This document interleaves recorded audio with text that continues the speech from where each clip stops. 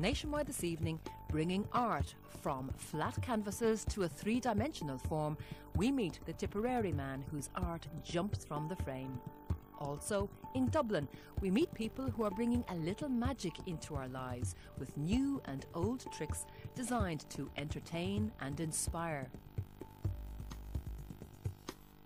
You're very welcome to the programme. Well, this evening we have fun, entertainment, and magic on the menu. And we begin with magic on the streets of Dublin. Now, over the last number of years, the number of Irish people who have been trying their hand at magic has increased. And recently we asked former Rose of Tralee Maria Walsh to meet and assist some of the magicians who have been performing on the streets of Dublin. And here's how she got on.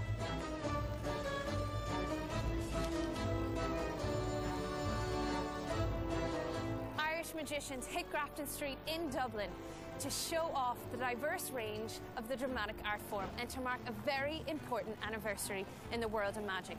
Let's take a look through this magical world of performance.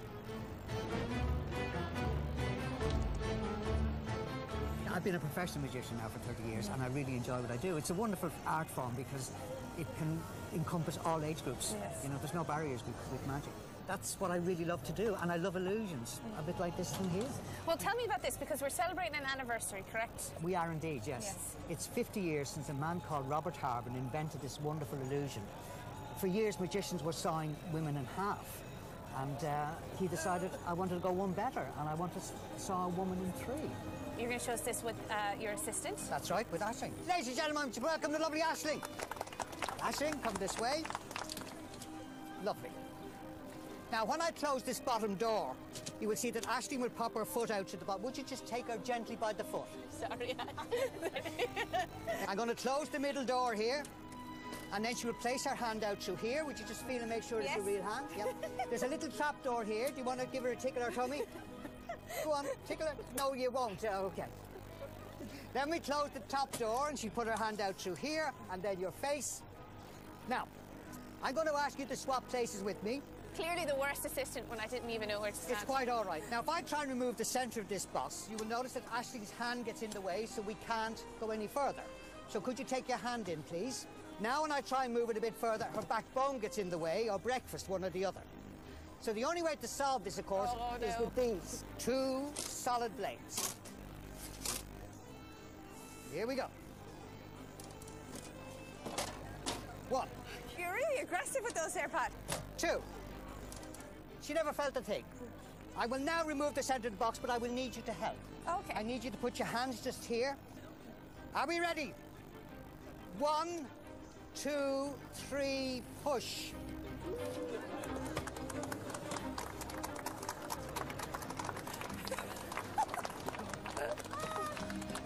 Would you just wave your hand to the middle there just to show that there is nothing in there? There's absolutely nothing. Ashley will take a little hand. She has a hold of a handkerchief. Look at the, the knives. I can tickle her tummy as well. Would you like to take your hand in, Ashling? I will now put you back to normal, which is quite difficult because she's never been normal. so are we ready, dear? Okay, here we go. Back to normal just like this. I'll pull out the bottom blade, pull out the top blade. Your hand will come back out to the little hole here, complete with my handkerchief. And there you go. If you take in your hands and feet, I will open the doors, and ladies and gentlemen, would you please show your appreciation for the very beautiful and the lovely Ashling? the great misconception of magic is people think it's all camera tricks.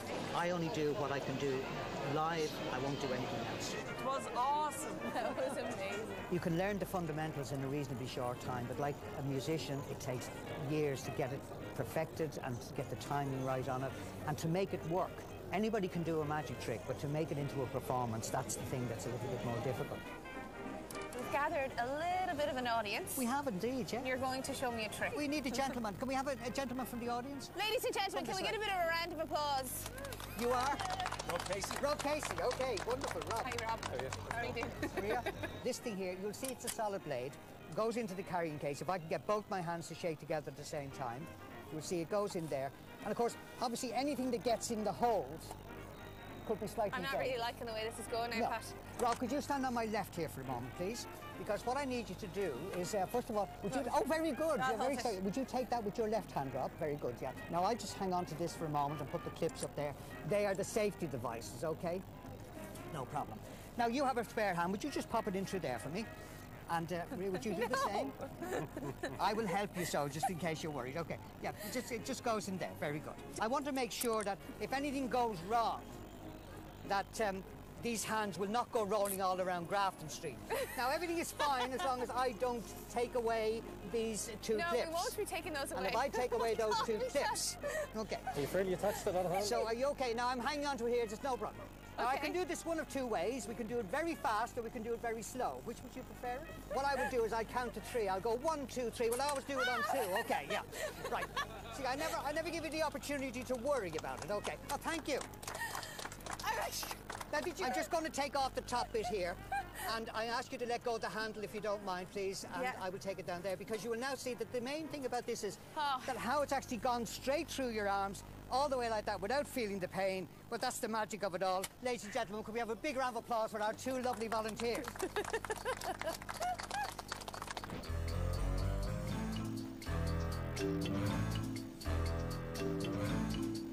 Really, I, I see myself as an entertainer. Uh, and I just use magic to entertain people because it's not about the tricks. If you imagine a table of 12 or 13 people at a, at a wedding or a corporate event and they all have that reaction, it creates the atmosphere. So that's really what magic's about.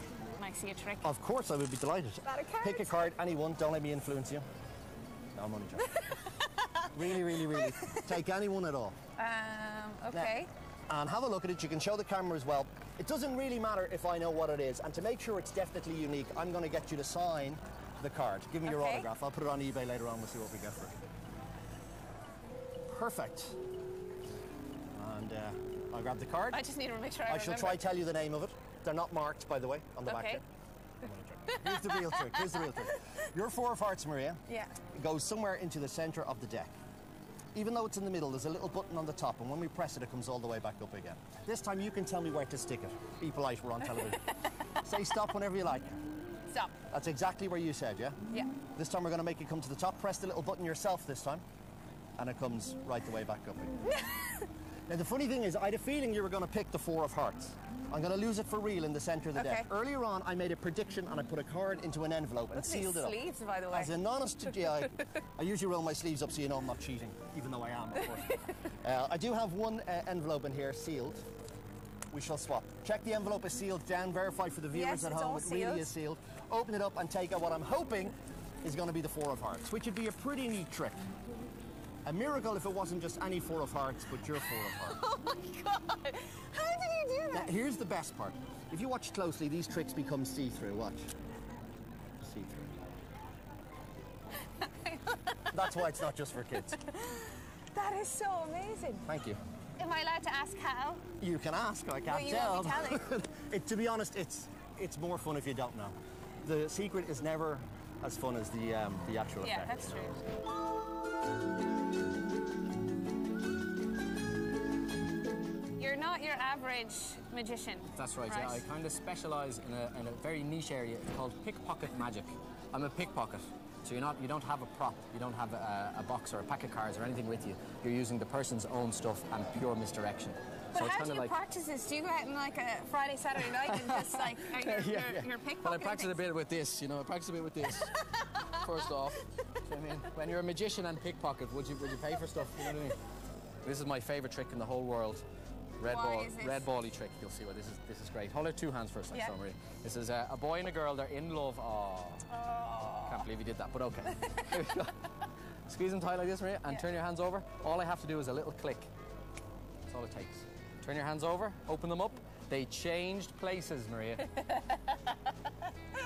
no, no, you're not believing. back to the no, they do, they do. No, no, no, they do change places. It's just that you have to tell. You have to, to tell. You got to squeak them. Oh. One of them should be. Can you hear that? Yeah. A little squeak. Can you hear it? Uh-huh. Just in the. Pat. Oh, that one doesn't squeak. I have a squeaker in my hand. I'm messing with you. You look very annoyed with the magician now. See the way it's my favourite trick now? No, there is actually a trick to this. The boy and the girl, watch close. If I take the boy, let's say, and if you take the girl, hold the girl the same way as I have the boy. Squeeze her tight. Don't let anything in or out. Do you know any magic words, Maria? You're going to wave your other hand over ours. I'm going to be really bad. Abra! Cadabra. Perfect. The boy doesn't like being away from the girl. Squeeze her tight. Don't let me in or out. Watch this. If we move them apart, if we separate them apart like this, perfect. Actually, put the girl into your other hand. Don't let me get at it. If you give a little click, the boy doesn't like being away from the girl. He disappears. Now, I put the boy here, but I could have cheated. I'm the magician. You put the girl in your own hand. Yeah. Nobody went near it since. Slowly, Maria, turn your hand over. Have a look. Is he in there? what? But my hand is over here. I don't even know how it works.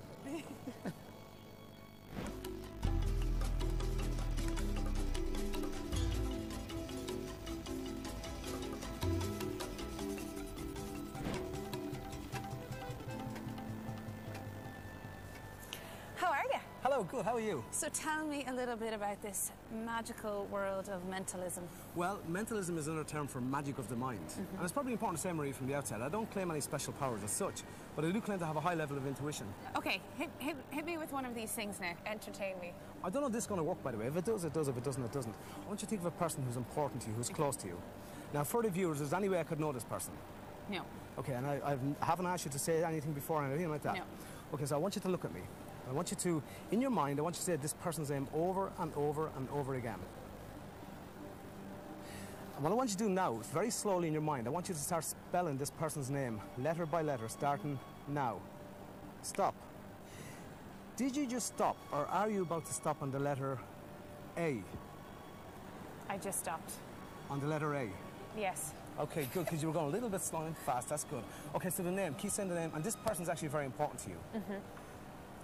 And it's it's a male. I'm pretty sure it's a male, but I don't know this person, and this person doesn't know me. So if I was to meet this person, you would say to me, Robert, I'd like you to meet this person. He's very important in my life, and his name is Liam. Oh my god! oh my god! I was like, there's no way you're gonna get this. Well, that's my job. I'm actually a little bit flabbergasted now. So am I. I didn't expect it to because work. it was a it was a random name, like someone I wouldn't. Wow. It's, it's How? quite peculiar. I want to know how, but obviously that's your secret. you gave everything away. Your beautiful smile gave it all away. You're such a flaw boss. It really did. Give it all away. And when I got to I, of course, it had to be Liam.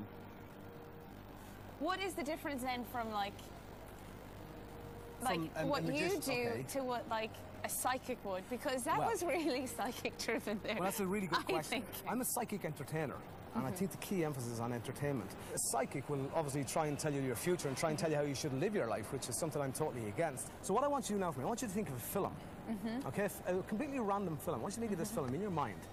And I want you, again, like the, the word Liam, I want you to say this film over and over again in your mind for me. Um, I'm not getting a huge amount. You've seen this film before. That's what I'm getting. Um, do you mind? Can I? This is going to allow me to maybe get a, a little bit more where I need to get. Can I? Uh, can I have your wrist? Can I take your pulse? And I want you to imagine you see the, the film and you're going through all the emotions of that film. And it's very interesting, Marie, because now your pulse is jumping a little bit. So this will tell me that it's a film that perhaps has a few scares in it. yes. I want you to imagine all different aspects of the film. And, and, and think about the film. Think about some well known aspect of the film. Were you thinking of something like music or something? Mm-hmm. So it's like, it's, it's like a team tune? Yes. Think of the film, say it over and over again in your mind for me. And you're in the cinema and you're watching this film and it's playing out. Your pulse just jumped again. So this is this the part where somebody's like getting attacked? Yes. You could have chosen any film at all. yes. Are you trying to send to me the film Jaws? Oh my God! No, there's no way you could have known that out of all the films. Well, I want you to know. I want you to imagine. No, there's no way you could have known that. I want you to imagine. I want you to imagine that, again, make believe you're going to see this film because it's an old film. So think. I want you to think about a, time of the film. So think of the time for me in your mind for me now. Okay. So you're of a time for me right now, yeah? Mhm. I want you to say this time over and over again in your mind for me. Okay. So this time is when the film starts. All right. Yeah. So the film's starting at this time. It's very important. Maria, would you like to tell us all? There's no way I could know this time, is there? Yeah. No. No. No. No. No. No. Not. It was a random, a random time chosen. Okay. Well then, tell me and tell us all. What time are you thinking of? Quarter past seven. quarter past seven. Um, that's very interesting because why don't you, once you look at the clock, want you imagine you see your time going around and around and around. So in your mind, you need to say stop, How okay? you- In your mind, you need to say stop. Because otherwise, it's just going to keep going around and around and around. In your mind, says stop at quarter past seven. The film is about to start. So in your mind, in your mind, you're going to say stop. Close enough? Yeah, Because it wasn't on the quarter past. Wow, so is that the exact time? It wasn't on the quarter. No. Wow, isn't that incredible? Wow. No, there's no. How did you get to seven? It was very nice to meet you. Oh my god! Great to meet you. How did you get? No, you have to explain this now.